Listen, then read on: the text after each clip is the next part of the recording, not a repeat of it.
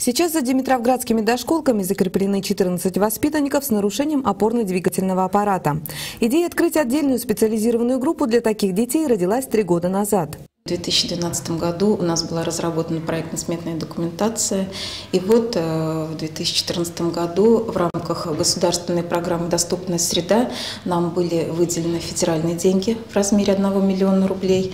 А также из муниципального бюджета выделены были средства в размере 1 миллиона рублей.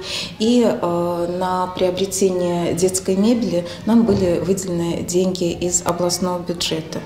Здесь созданы все условия для таких детей. Пандусы при входе, расширенные дверные проемы, специальные коляски и стульчики, тренажеры и игровые элементы. Сейчас идет адаптационный период. Ребята пока привыкают к новой роли воспитанников детского сада.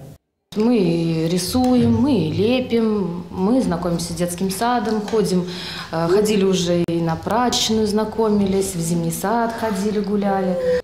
Воспитателю и нянечке в работе помогают и другие специально обученные сотрудники дошколки – тьюторы.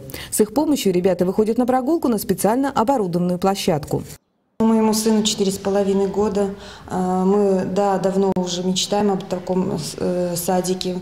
А, ну, до этого мы занимались э, индивидуально, а тут э, все-таки общение с детьми и занятия одновременно. От всей души хочу сказать спасибо всем тем, кто э, потрудился и сделал нам такой огромный подарок нашим детям. Группа рассчитана на 7-8 детей. Сейчас ее посещают 4 ребенка. Поэтому, если у кого-то есть необходимость в посещении такой группы, можно обратиться в дошкольный отдел, либо непосредственно в сам детский сад «Дельфиненок». Татьяна Елисеева, Анжелика Барвинок. Наше время.